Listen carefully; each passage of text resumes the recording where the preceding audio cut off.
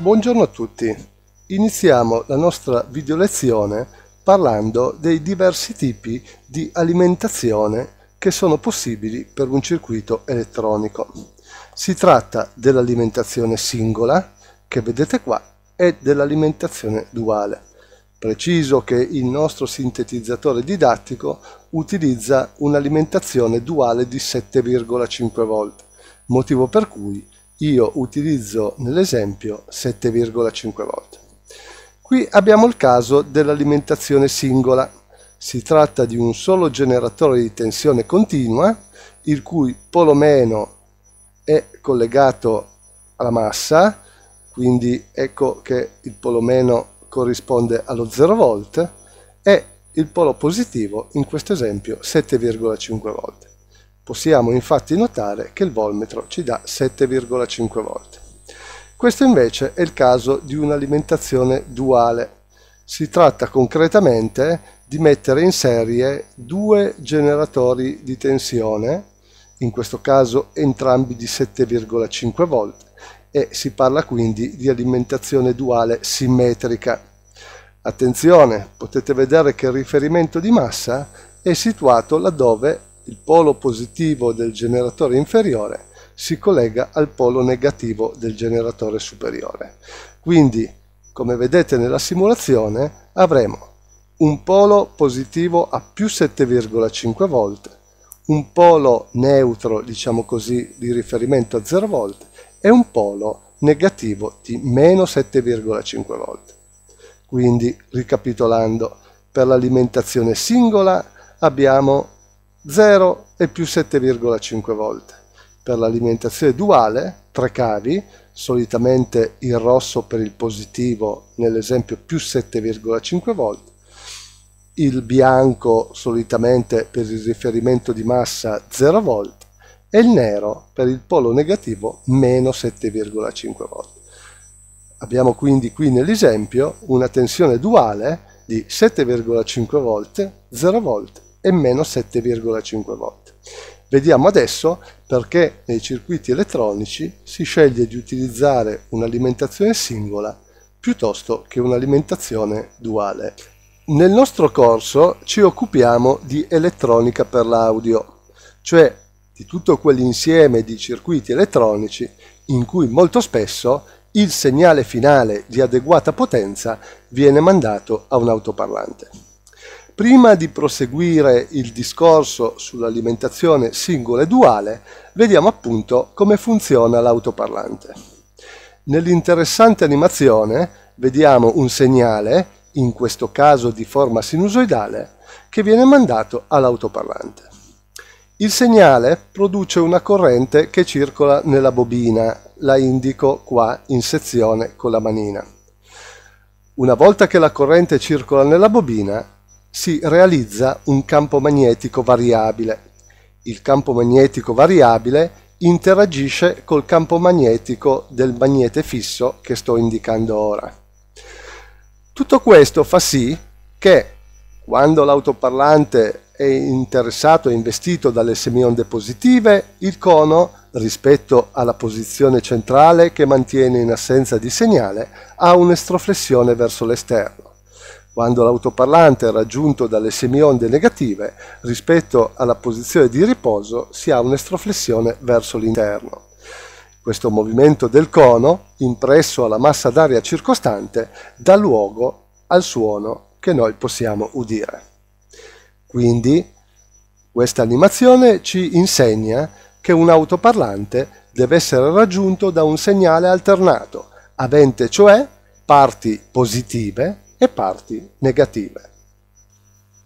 Nell'esempio in figura possiamo osservare il funzionamento di un amplificatore operazionale montato in configurazione invertente. Essendo le due resistenze della configurazione invertente entrambe da un kilo, realizzeremo un'amplificazione di 1. Nell'esempio l'alimentazione è di tipo singolo a 7,5 volt. Concretamente nel simulatore questo significa impostare la tensione minima di uscita dell'operazionale a 0 volt corrispondente ai 0 volt del polo negativo e la tensione di uscita a 6 volt in quanto essendo l'alimentazione da 7,5 volt dobbiamo considerare che l'uscita non raggiunge mai in un operazionale reale l'intera alimentazione ma vi è una caduta all'interno dell'operazionale stesso di circa un volt e mezzo. Nella simulazione possiamo osservare in viola il segnale sinusoidale d'ingresso che è di frequenza 1 kHz e ampiezza 1 volt e in verde il segnale in uscita sulla resistenza da 8 ohm che simula l'autoparlante. 8 ohm perché impedenze classiche degli autoparlanti sono 8 o 4 ohm. Possiamo osservare della simulazione che in uscita otterremo solo le semionde positive. Le semionde positive sono in concorrenza delle semionde negative in ingresso. Ricordiamo infatti che si tratta di una configurazione invertente, cioè a semionda positiva in ingresso dovrebbe corrispondere semionda negativa in uscita e a semionda negativa in ingresso la semionda positiva in uscita. Effettivamente questo lo possiamo constatare per ciò che riguarda le semionde negative in ingresso. A semionda negativa in ingresso corrisponde una semionda positiva in uscita di stessa ampiezza, in quanto l'amplificazione è 1. Però possiamo vedere, in questo caso, che a semionda positiva in ingresso corrisponde una tensione nulla in uscita. Questo effetto di tosatura per il quale il segnale di uscita ha solo semionde positive è dovuto proprio al fatto che l'amplificatore operazionale è alimentato con una tensione singola. La tensione singola fornendo solo il più 7,5 volt e lo 0 non permetterà infatti che l'uscita vada sotto la tensione 0, cioè che si possano ottenere in uscita semionde negative. Questo ci insegna che non è possibile trattare un segnale audio. Abbiamo visto prima nel caso dell'autoparlante un segnale audio deve essere alternato. Stavo dicendo non è possibile trattare un segnale audio in questo caso con l'operazionale utilizzando l'alimentazione singola perché questo produrrebbe la tosatura di tutte le semionde negative in uscita in questo nuovo esempio L'amplificatore operazionale montato in configurazione invertente con guadagno unitario è alimentato, come indico qua con questi generatori, con la tensione duale. Tenete presente che il generatore d'ingresso e l'autoparlante in uscita hanno come riferimento la massa e non il meno VCC. Concretamente impostiamo nel simulatore l'alimentazione duale dell'operazionale indicando come limite di uscita massimo 6 volt e minimo meno 6 volt.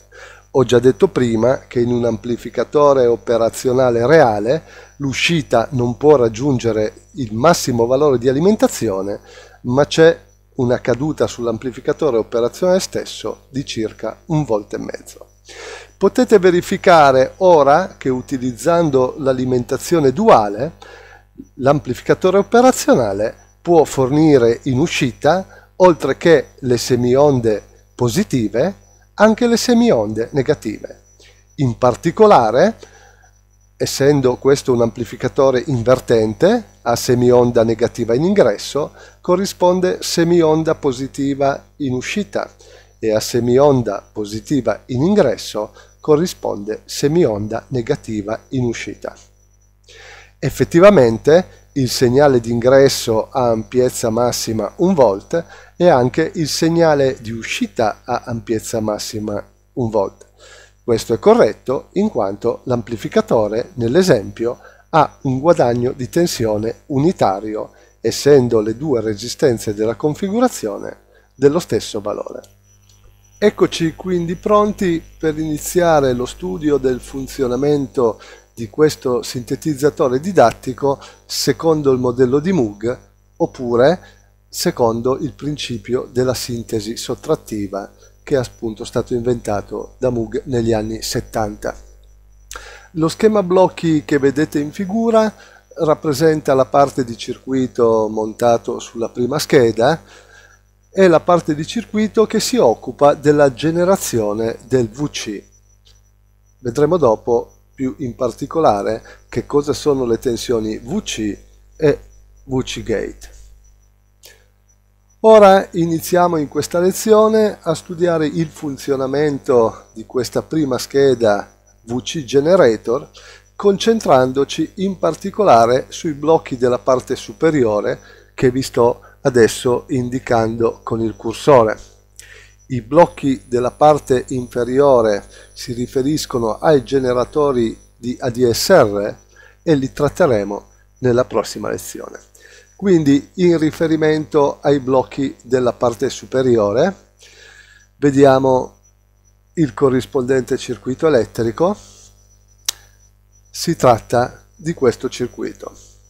Oggi in particolare però ci concentreremo sulla, sulla struttura e sul funzionamento del gruppo tastiera. Il gruppo tastiera è quello indicato in questo circuito.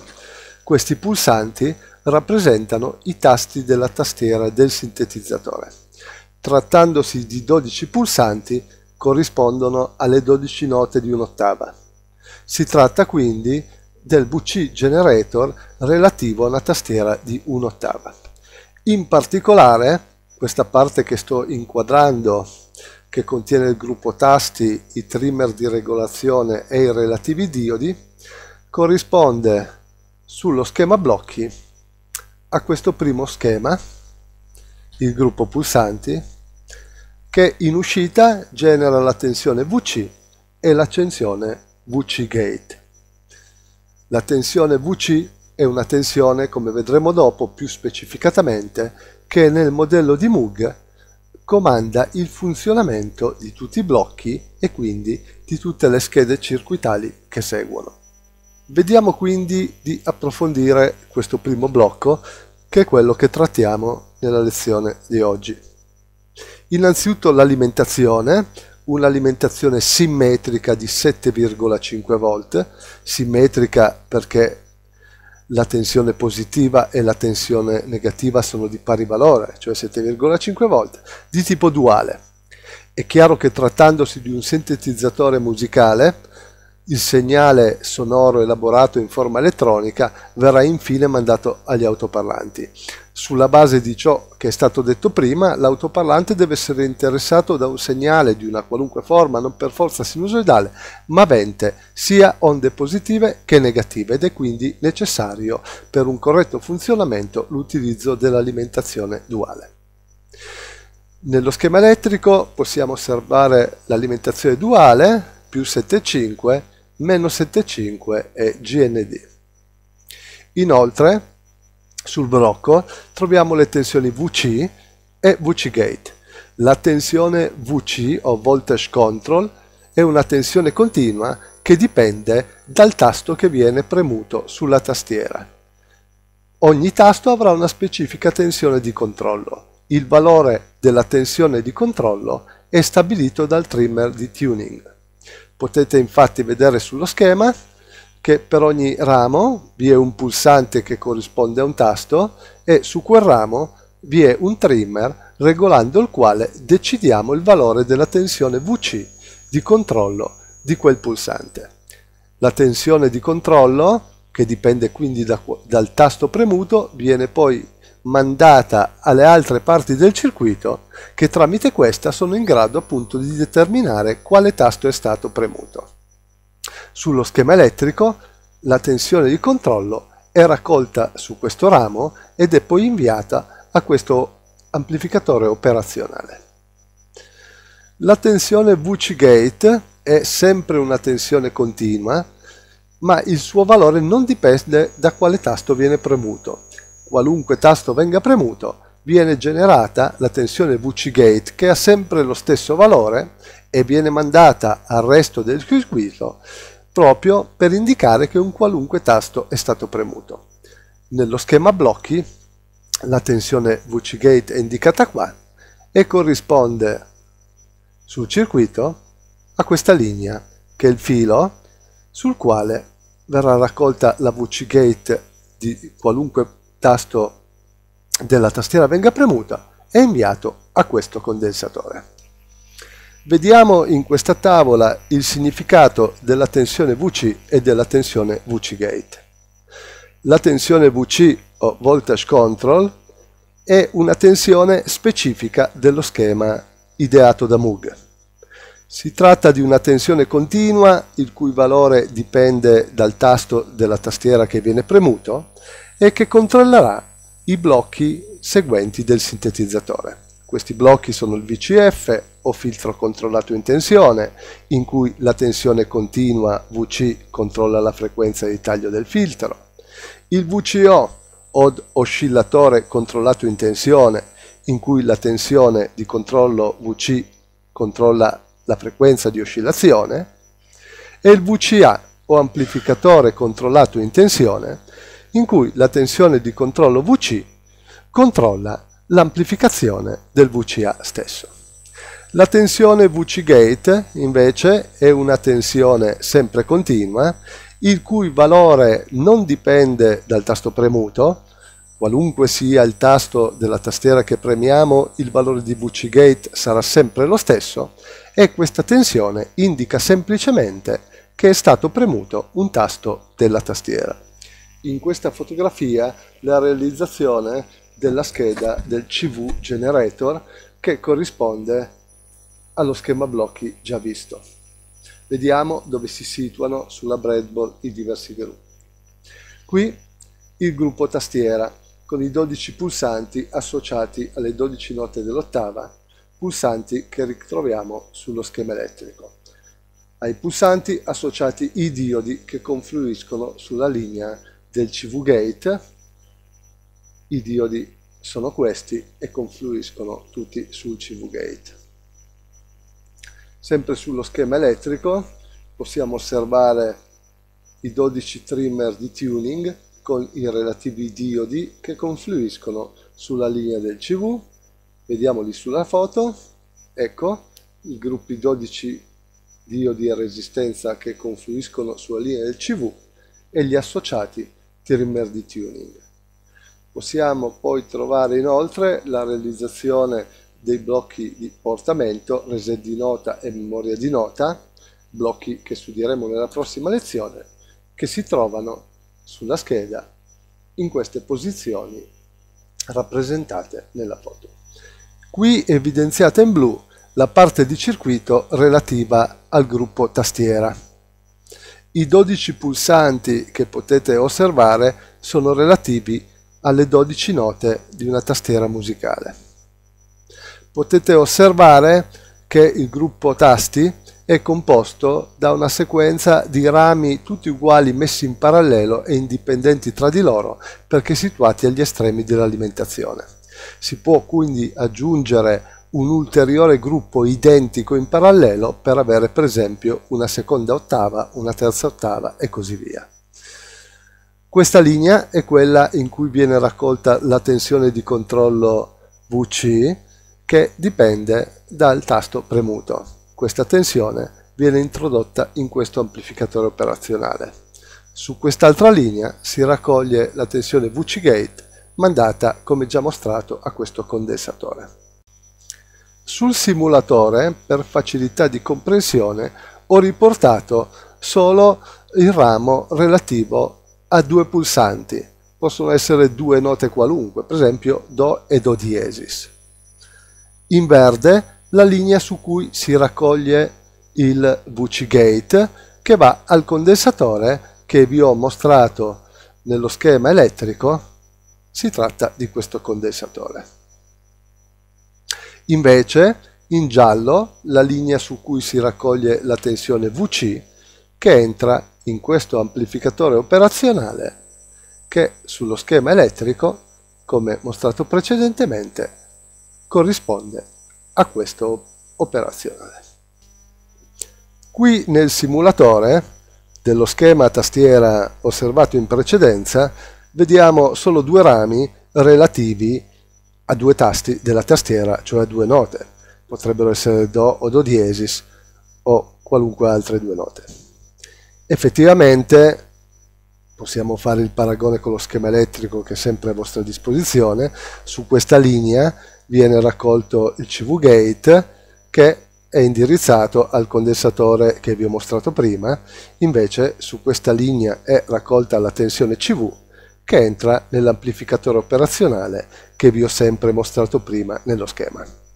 Ci approcciamo quindi a vedere come funziona la produzione della tensione CV e della tensione CV gate utilizzando sul simulatore due soli pulsanti, cioè solo due tasti della tastiera, ma le considerazioni fatte per questi due pulsanti potranno essere estese a tutta la tastiera e permetterci quindi di comprendere come funziona tutta la tastiera e il blocco di generazione CV Gate e CV associato. Ecco indicata in verde nella simulazione la linea del CV Gate. Ogni volta che si preme un pulsante della tastiera si realizza il circuito osservato nella simulazione, cioè questo polo direttamente a contatto col più 7,5 volt produce lo scorrere di una corrente nel primo diodo in relazione al primo pulsante e questo come vedete nella simulazione realizza ai capi della resistenza di carico di 10 kΩ la presenza di una tensione il cui valore sarà proprio quello dei 7,5 volt di alimentazione a cui si sottraggono nella simulazione, vedete il primo diodo eh, in cui scorre la corrente, a cui si sottrae appunto la tensione che cade sul primo diodo, circa 0,7 volt. Questo produce, lo vedete sul volmetro al fondo del circuito, una tensione CV gate di 6,8 volt circa potete facilmente osservare che questa tensione di pari valore è prodotta qualunque tasto io della tastiera vado a premere. Nell'esempio abbiamo solo due tasti, ma potrebbe essere un numero indefinito, non cambierebbe nulla, qualunque pulsante io prema si viene a realizzare su questa resistenza di carico a 10 kg una tensione CV gate di circa 6,8 volt. La resistenza di carico è indispensabile perché osservate come scorre la corrente. Proprio attraverso la resistenza di carico da 10 kg la corrente va verso massa. Se non ci fosse questa resistenza da 10 kg, nessuna corrente potrebbe scorrere e il diodo interessato, per questo pulsante parliamo di questo diodo e per quest'altro pulsante di questo diodo, il diodo interessato non potrebbe essere percorso da nessuna corrente, osservate nella simulazione la corrente che percorre il diodo e poi percorre la resistenza di carico di 10 kΩ per andare a massa, stavo dicendo non ci fosse la resistenza da 10 kΩ, nessuna corrente potrebbe scorrere nel diodo e quindi il diodo stesso non potrebbe entrare in conduzione. Ecco quindi Vedete che premendo un qualunque tasto della tastiera si produce sulla resistenza di carico, come osserviamo sul volmetro, una tensione CV gate di circa 6,8 volt. Osservate ora la linea evidenziata in giallo a cui ho collegato un volmetro. Si tratta della linea in cui viene prodotta la tensione di controllo CV. Ogni ramo relativo a un pulsante, quindi a un tasto della tastiera, contiene un potenziometro e una resistenza. Ogni volta che verrà premuto il pulsante, il potenziometro sarà connesso direttamente a più 7,5 volt da un capo e tramite l'altra resistenza a meno 7,5 e sul cursore si potrà quindi prelevare una tensione continua il cui valore dipende dalla posizione del cursore stesso. Se quindi per ogni pulsante andiamo a tarare il potenziometro, in realtà saranno dei trimmer, eh, trimmer perché eh, in fase di taratura stabiliscono qual è la tensione CV per ogni nota, cioè per ogni pulsante. Stavo dicendo, ognuno di questi trimmer relativi a un tasto della tastiera verrà tarato di modo da produrre la tensione continua CV che mandata alla sezione di oscillatori produrrà un'oscillazione di frequenza esattamente corrispondente alla nota che noi vogliamo ottenere schiacciando il tasto. Anche sulla linea del CV, al fondo di tutti i diodi relativi alla linea stessa abbiamo una resistenza di carico da 10 kΩ. Il motivo della presenza della, della resistenza stessa è quello che ho detto prima, se non vi fosse questa resistenza, ogni volta che premo un pulsante, osservate lo scorrere della corrente, nessuna corrente potrebbe eh, percorrere il diodo interessato, il quale non potrebbe andare in conduzione. Osserviamo ora quindi nella simulazione il valore della tensione CV raccolto qui nella linea evidenziata in viola. Potete vedere che a differenza di quanto avveniva col CV gate, ogni volta che io premo un, un, tasto, un pulsante, scusate, sulla linea CV si viene a realizzare una tensione continua che permane fin tanto che tengo premuto il pulsante, ma a differenza di prima non è una tensione che ha sempre lo stesso valore, ma ha un valore che dipende dal pulsante che vado premendo. Questo valore io lo posso anche modificare cambiando la posizione del cursore. Ora ho portato più in basso il cursore di questo trimmer e potete osservare che rispetto a prima otterrò, premendo il pulsante relativo, una tensione minore. In sintesi, quindi, su questa resistenza di carico raccoglieremo la tensione CV gate che adesso è evidenziata in verde. La tensione CV gate vale lo stesso valore, guardate la simulazione verde, ogni volta che premo un tasto qualunque. In viola invece la tensione CV, il cui valore non è lo stesso ogni volta che premo un tasto, ma dipende dal tasto premuto. Quindi in sintesi la tensione CV gate informa il circuito che è stato premuto un pulsante, un tasto qualunque della tastiera, mentre la tensione CV dice al circuito con precisione quale pulsante è stato premuto, in quanto per ogni specifico pulsante abbiamo una specifica tensione che possiamo decidere posizionando nella posizione da noi desiderata il cursore del trimmer relativo. Per concludere la spiegazione relativa alla scheda CV Generator, diamo adesso delle informazioni relative alla presenza dei diodi tanto sulla linea del CV gate, sono questi due diodi, tanto sulla linea del CV. Per comodità di spiegazione ho sostituito nella simulazione il primo pulsante con un interruttore. Qualora questo primo pulsante venga premuto, ma analogo discorso varrebbe per qualunque pulsante, potete osservare il percorso della corrente che attraversa il primo diodo e si riversa sulla resistenza di carico del CV dove possiamo vedere in verde preleviamo una tensione di 6,8 volt che è tale qualunque tasto della tastiera si prema.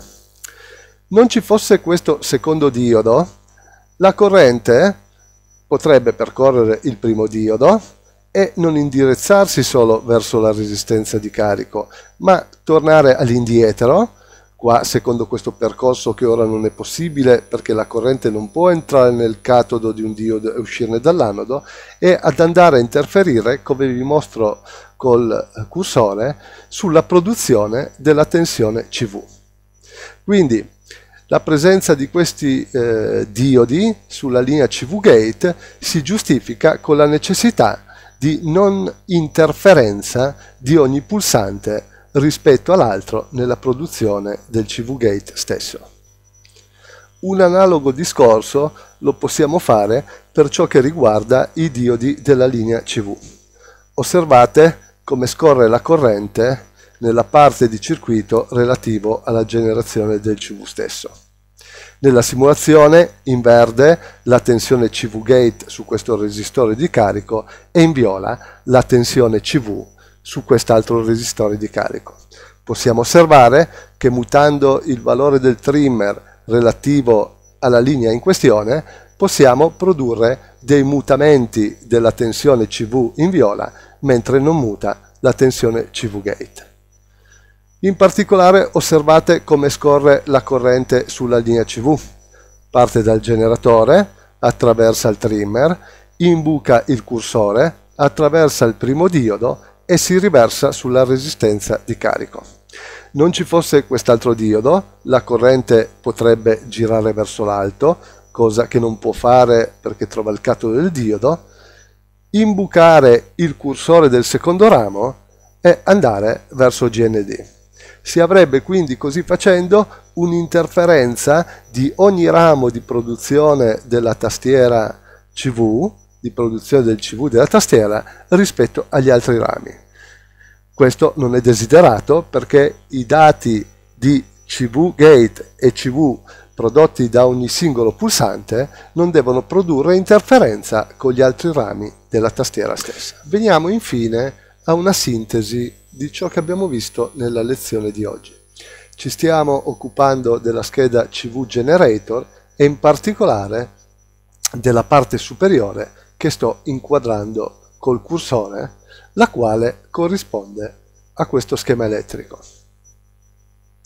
Nello specifico ci siamo occupati del primo blocco che è questo, che corrisponde alla parte evidenziata in blu sullo schema elettrico ed è il gruppo tastiera.